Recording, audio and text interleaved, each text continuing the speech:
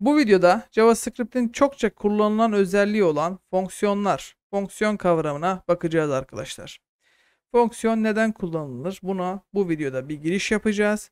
Sonraki videolarda dediğim gibi bolca uygulama yapacağımız için bu konuyu iyice kavrayacaksınız zaten. Buradaki asıl amacım JavaScript'ten fazla soğumadan çünkü hani çokça uygulama da yapmak istiyorum ama e, biliyorum baya bir öğrenci ile çalıştığım için bu konuda konsolda çok fazla çalışmak biraz boğabiliyor, bırakılabiliyor. O yüzden hızlı bir şekilde DOM tarafına geçmek istiyorum. O yüzden size en basit ortamından en kolay fonksiyon mantığını anlatacağım. İlerleyen zamanlarda farklı fonksiyon çeşitlerine de değineceğiz. Şimdi hemen gelelim burada. Ne yapalım? Ana dizinde bir 19 diyelim. Fonksiyonlar. Fonksiyonları açtık. Buraya bir tane index JS açacağız. Şunlara hepsini kapatalım. İçerisine girelim. Loglayalım. Açalım CMD'yi. Buraya da node indeksimizi yazalım. Tabii ki hangi dizinde olduğumuzu anladınız. O yüzden şu dizine girmek istiyorum ben.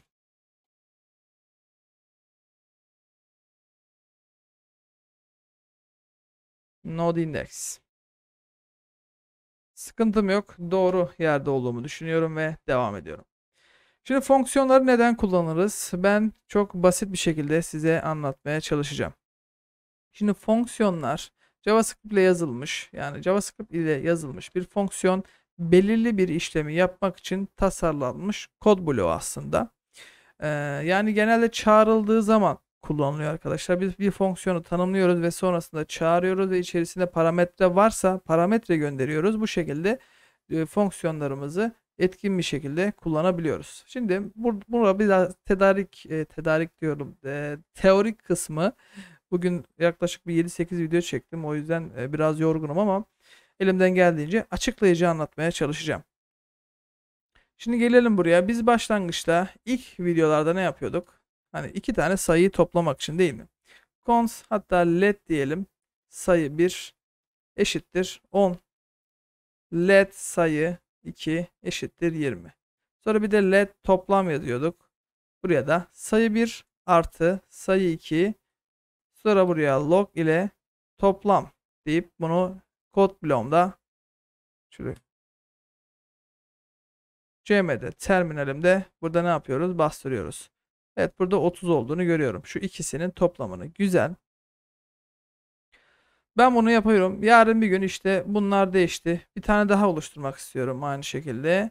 Geleceğim. Bunu tekrardan işte sayı 3, sayı 4 deyip işte sayı 3 ile sayı 4'ü bu şekilde toplamak istiyorum. Toplamda 2 olacak.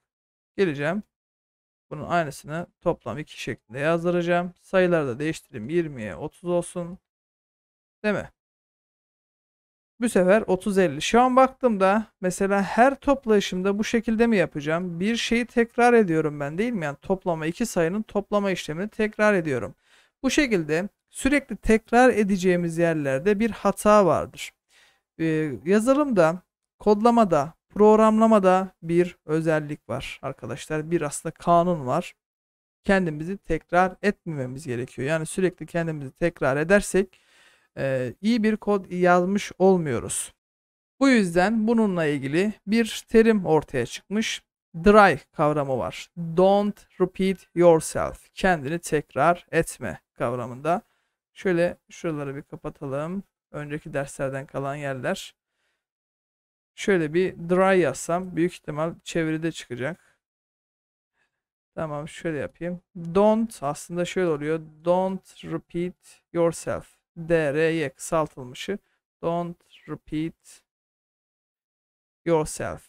Evet. Kendinizi tekrar etmeyin. Yani tekrar tekrar aynı kodları yazmamam gerekiyor ve görüldüğü gibi yazılım geliştirme ilk, ilkesi. Biz kanun dedik ama herhalde ilkesiymiş. Yazılım geliştirme ilkesi olarak adlandırılıyor. Güzel. Şimdi benim burada ne yapabilirim? Bir fonksiyon mantığını öğrenelim biz. Şu Şunları bir yorum satır altına alayım. Şurayı kapatayım. Tamam mı? Şurayı aşağı alayım biraz. Şimdi fonksiyonlarda basit bir fonksiyon. Başa bu şekilde bir fonksiyon kelimesini yazıp sonrasında fonksiyon adlandırmasını yazıyoruz. Ne diyelim buraya? Sayı toplamı diye Türkçe karakteri kullanmayarak yazdım. Şimdi bu fonksiyon yazdıktan sonra bir tane log yazacağım içerisine. Diyeceğim ki çalıştı ya da fonksiyon çalıştı diyeceğiz. Ben bunu eğer çağırmazsam log tarafında göremiyorum arkadaşlar. Fonksiyonları çağırmamız gerekiyor unutmayalım. Bakın hiçbir şey yok şu anda. Ama burada ben fonksiyon çalıştı yazmıştık. Şimdi tekrardan bakalım yakından inceleyelim. Şimdi fonksiyonumuzda dediğim gibi bir en başa bu basit farklı farklı işte arrow function'lar gibi e, farklı farklı fonksiyonlar üretebiliyoruz. Bunları ilerleyen modern JavaScript e, derslerinde göreceğiz zaten. Şu an biz daha temel kavramlardayız. Burada da en basit, en ilkel fonksiyonu oluşturuyoruz. Fonksiyon bu şekilde basit bir şekilde oluşturuluyor. Sonra yanına buraya fonksiyon adı. Şöyle yazalım. Fonksiyon adı. Sonra bu tarafa da şöyle parametre girmemiz gerekiyor. İstediğiniz kadar parametre girebilirsiniz. Parametre şeklinde buraya yazıyoruz. İşte tam parametre olayını birazdan daha iyi öğreneceğiz. Burası fonksiyon adı. Şöyle yapalım. Burası fonksiyon adı. Burası zaten function başına function yazmamız gerekiyor. Sonra fonksiyon adını, sonra buraya gireceğimiz parametreleri, sonra süslü parantez açıp yazacağımız kod bloklarını buraya yazıyoruz. Olayımız genel olarak bu arkadaşlar. SS almak isteyen arkadaşlar alsınlar. Sonrasında yapacağımız diğer bir yöntem şu şekilde. Baktığımız zaman ne var? Fonksiyonumuzu bu şekilde çalıştırabiliyoruz ama çağırmamız lazım demiştim değil mi? O yüzden şöyle çağırma olayı bu şekilde oluyor arkadaşlar. Fonksiyonumun ismini yazıyorum. Şu şekilde bakın fonksiyon ismini yazdım ya gelip çalıştırmam için şu konsolu yazdırması için gelip sayı toplamayı dediğimde bu şekilde yazdıracak. Not index dediğimde tabi kaydetmediğimiz için çalışmayacak. Evet bakın fonksiyon çalıştı işlemi geldi. Tamam. İşte ben iki tane sayının toplamını istiyorum. Parametre dedik şuraya yazabiliriz. Bu parametreler ne işe yarıyor arkadaşlar? Onca onu göreceğiz. Şimdi sayı 1 ve sayı 2 adında parametre yazdım. Bakın buraların hiçbir değeri yok. Siz sonra bakın bakarsınız diye ben burayı yorum satırı aldım. Sayı 1 ve sayı 2'nin şu an hiçbir değeri yok. Hatta konsolda yazdırdığım zaman büyük ihtimal undefined dönecek. Şimdi olayı buradaki parametre olayını iyi anlamayan arkadaşlar için bile ben burada güzelce anlatacağım ve bu sorunu çözeceğiz burada. Buradaki sayı 1 var ya arkadaşlar şöyle bir özellik. Buradaki sayı 1 gelip buraya yazacağımız ilk yazdığımız ilke son yazdığımız yani kaçıncı sırada sırayla gidiyor sırasına göre gidiyor tamam mı? Ben mesela gelip sayı 1'e 10 yazarsam, sayı 2'ye de 20 yazarsam ne olacak? Şöyle yaz, yazdıralım bakalım görelim. 10'a 20. Burada yaz. Neden öyle bir şey oldu? Çünkü bak sayı toplamı sayı toplamı. isimleri aynı. Birinci parametre buradan sayı 1 konsolda yazdırıyor. Direkt orada parametre olarak yazdığımı direkt aşağı kod bloğunda alıyor. Ne yazarsan yaz çağırdığın yerde gönderdiğin parametreler bu şekilde alınabiliyor arkadaşlar. Burada da gelip sayı 2 yazdığımda görüldüğü gibi sayı 2'yi de alabiliyorum. Demek ki neymiş buradaki parametre? Çağırdığım zaman gönderdiğim değerleri alıyormuş. Yani ben buraya 10 yazdım 10 yazmama gerek yok. 10 veya 20 yazsam şimdi gelip burada 20 içeride 20 ile işlemler yapabilirim. Artık sayı 1'i ben her yerde kullanabilirim. Demek burada ne gönderiyorsam göndermek istediğim değer. O zaman ben diyeceğim ki şöyle bir şey diyeceğim. Bir tane let toplam diyeceğim. Toplamı sıfırdan başlasın. Sonra sayı 1 ve sayı 2'nin hatta sıfırdan başlamasın direkt sayı 1 gönderdiğim neyse sayı 2'yi toplasın yazdırsın. Ve bu toplamı da geleceğim konsolda yazdıracağım. Sayı 1 neydi? 10'du. Sayı 2 neydi? 20 idi. Bakın aynısını alıyor artık. Dediğim gibi ne gönderirsen onu alır. Evet 30'a aldım. Yukarıda ben ne işlemi yaptırmıştım? 20-30 değil mi? Bunu bir kere yazdırırım. Peki ben bir de 30 20 ile 30'u yazdırmak istiyordum sayı 3 ve 4'te. Bunu nasıl yaptıracağım? Bir daha mı böyle bir şey? Hayır bakın bunu kopyalamayacağız. Bunu bir kere yaptık. Bakın don't repeat yourself. Tekrar etme kendini. Geldik buraya. Basitçe ne ile 20 ile 30'u toplayacağım ya. Bunu bir kere daha kopyaladım aşağıya. İstediğim kadar çağırabilirim bunu. Her yerde çağırabilip her yerde kullanabilirim. Yani sizden e, eğer bir insan geldi bir müşteri dedi ki bana bir tane program yap. Bu program benim gönderdiğim bu şekilde iki tane sayıyı toplasın. Biri 20-30 gönderir. Bazen 10 ile 20'yi gönderir. Bakın buradan alınan değerleri bu şekilde ne yapmış oluruz? Bakın 30-50'yi direkt aldı. Gidip bir daha ne yapmadık? Bunun gibi uzun uzun yazmadık. Peki sonsuz tane sayı yazmak istersem ne yapacağım? Hemen onu da gösterelim arkadaşlar. Tamam mı? Şunu şöyle kalsın bu. Bu basit toplama olarak hatta şöyle yapayım. Basit Aha. Basit toplama fonksiyonu diyelim. Peki bunun gelişmişi nasıl olabilir? Şöyle olabilir arkadaşlar. Gelişmiş toplama fonksiyonu.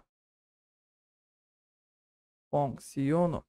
Şimdi yarın bir gün müşteri geldi dedi ki ya benim ekleyeceğim ne kadar şuraya 10 20 diye ne kadar sayı yazarsam yazayım bunların hepsini toplasın. Ha, ben öğrendim artık tamam mı? Nasıl yapabilirsin? Bunu düşün. Yani yine bir tane fonksiyon açacaksın. Fonksiyon nasıl açılıyordu? Bu şekilde. Sonra sayı toplamı diye yazdık değil mi? Buraya ben adamın her girdiği artık adım adam veya kadın her girdiği müşterinin diyeyim her girdiği sayıyı buraya yazdırmam gerekiyor değil mi? Peki bunu nasıl yapabilirim? Geldik buraya log dedik. Şimdi adam buraya 10 yazdı. Hadi ben bilemiyorum yani adamın kaç tane yazacağını. Bunun basit bir yöntemi var. Ve buraya sonra ileride gireceğiz. Buraya sayı 3 nokta sayılar dediğimiz zaman bakın detaya inmiyorum. Kafanızı bulandırmak istemiyorum. Sadece bunu bilin. İleride diyeceksiniz ki ha evet bunun adı buymuş. Şu an hiç kafanızı karıştırmayacağım. Böyle bir özellik var deyip geçeceğim. Sayıları gelip mesela şöyle yazdırabilirim. Peki ben böyle yazdırdığım zaman ne olacak? 10, 20, 30, 40 tane 40 dedim. Adam ne girerse, müşteri ne girerse bu şekilde bakın array içerisinde dönüyor bana. He, çok güzel. Biz önceki konularda ne öğrenmiştik? Bu array içerisindeki bu şekildeki gelen verileri ben döngü ile e, sayısı kadar döndürüp içerisindeki yazılan sayıları toplayabiliyordum. Değil mi? Bakın önceki dersi izlemeyen arkadaşlar döngüleri izlesin zaten. Yoksa eksik kalır arkadaşlar bazı şeyler. Ona göre yani dersler hazırlıyoruz. Bakın burada da bir array'imiz vardı. Users. Değil mi? Users'ın bakın burada users 3 tane vardı. 3 kere dönüp içerisinde yazdırdı veya toplamayla ilgili de bizim kavramlarımız vardı. Bunu geleceğiz. Burada nasıl yapacağız? Bakın gönderdiğim kadarı toplamak istiyorum. O zaman bir tane yukarıda let ya da fonksiyon içerisinde de oluşturabilirim. Let toplam eşittir 0 diyeceğim. Sıfırdan başlatacağım. Güzel. Şunu bir kestim. For dedik. For'da ne demiştik biz? Let değil mi? Sayı index aslında direkt sayıyı almak istiyoruz. Biz burada off'u kullanıyorduk. Önceki derste eğer izlemeyen arkadaşlar izleyip tekrar etsin buraları. Sonra sayıların uzunluğu kadar içerisine dönüp içerisindeki sayıyı alacak. Sonra toplam artı eşittir ne? Gönderilen sayı. Şunu bir şey yapayım da göstereyim hatırlamayan arkadaşlar için. Log sayı dediğimde değil mi? Bana şu an hepsini dönmesi gerekiyor. Bakın içerisine ne kadar girdiysem. Yarın bir gün kullanıcı müşteri 50 girdi. 60 girdi. işte 7 girdi. 5 4'e 3 girdi. Bu şekilde tüm sayıları girdiğini düşünürsek ne olacak? Bakın hepsini bu şekilde bir fonksiyon ile bu şekilde yapabiliyorum. Peki ben bunların hepsini toplamak istiyorum. Değil mi? Nasıl topluyorduk? Hemen onu da şuradaki toplama göre gelelim. İçerisine toplama artı eşittir sayı. Zaten diğer derslerde gördüğümüz gibi. Sonra en son şurada bu toplamı şöyle dışarıda çağırmam scope mantığını göreceğiz bir sonraki sonraki derslerde. Ben bunu aşağıda ulaşmam için loglayacağım. Tamam toplam diyeceğim. Bana hata verecek. Şimdi kaydedeyim. Not index. Evet şu an hata verdi. Buna ulaşamıyor çünkü. Bunu global olarak tanımlamam lazım. O yüzden bunu buradan keseceğim. Fonksiyondan çıkartmam lazım. Yoksa ben ulaşamam buna. Sonra buna tekrardan gelip node index dedim. Bir saniye. Neyi yanlış yaptık burada? Sayı toplamı toplam eşittir 0 dedik. Let sayı artı eşittir. Evet. Buradan bir yanlış yaptık. Log diyelim. Bakalım kontrol edelim nerede bir yanlış. Ha pardon pardon ben de diyorum nerede yanlış var. Burası doğru. Şeye girmedik tabii ki. Öldür kill yaptık buradan. Kill terminal yaptığımız için şuraya girmemiz gerekiyor. Not index dedik. Evet. Görüldüğü gibi bakın arkadaşlar. İstediğim kadar gideyim. 220'ye bakın. 100 daha ekleyeceğim. Bu sefer 320 olacak. Bu neyin sayesinde? Buradaki sayı toplamı fonksiyonu yazdığım, yazmamız var. Bu şekilde birçok özellik var. Yani biz fonksiyonla birçok şey yapabiliyoruz. O yüzden fonksiyonları iyi öğrenmemiz gerekiyor. Fonksiyonlar e, iyi öğrenmezsek sıkıntı. Mesela gelelim bir de yaş hesaplama yapalım. Yaş hesaplama. Ee, ne diyebiliriz bu yaş hesaplamada? Bir tane fonksiyon açabiliriz. Artık öğrendik. Yaş hesapla diyelim. Tamam. Bunun içerisinden doğum yılını parametre olarak almam gerekiyor. Buralar şimdilik oturmayabilir arkadaşlar. Çok uygulama yaparak oturuyor burası. Tamam mı? Ben neyle oluşturuyordum? Ee, new date deyip bu şekilde oluşturabiliyordum değil mi? Hatta gelelim ee, şimdiki yıl hatta yıl diye bir tane değişken oluşturalım. Yıl eşittir new date nokta get full year. Değil mi? Mesela yılı bulacak mı? Yazdıralım bakalım. Bunu çağırmam lazım tabii ki. Yaş hesapla da şu anki yılı bulacak mı? Evet 2022 yılını bulduğunu görüyorum. Peki ben loglayacağım. Ne diyeceğim? 2022 yılı yıl olarak bulabiliyorum değil mi? Yıl. Eksi 2022'den benim şu an göndereceğim parametredeki doğum tarihim neyse bana yaşamı bulacak. Doğum yılını bul diyorum. Okey. Ne yapacağım şimdi? Doğum yılı. Geleceğiz burada. Doğum rastgele bir doğum yılı yazacağız. Ve not index dediğimde bakın 90 doğumlunun 32 yaşında. 97 doğumlu ise 25 yaşında olduğunu görüyoruz. O yüzden mesela biz mesela şunu yazmasaydık tamam mı? Bu return. Şimdi return'ı anlatacağım bir saniye. Şuradaki mevzuyu göstereyim tekrardan. Bakın yine parametre. Ben parametreye geldim. Bu şekilde çağırdım fonksiyonun. Parametreye 97 verdim. 97 geldi buraya.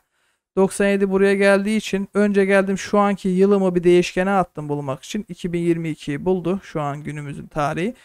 E, bu videoyu çektiğim tarih. Sonrasında konsol loga dedim ki 2022 tarihinden benim kaçsa doğum tarihim onu gönderdiğinde yazar. E, mantıken doğum yılı nasıl bulunur? Şu anki yılla e, doğum tarihini çıkartırsan şu anki yıldan doğum tarihini çıkartırsan evet şeyi bulabilirsin. Yaşını bulabilirsin yani.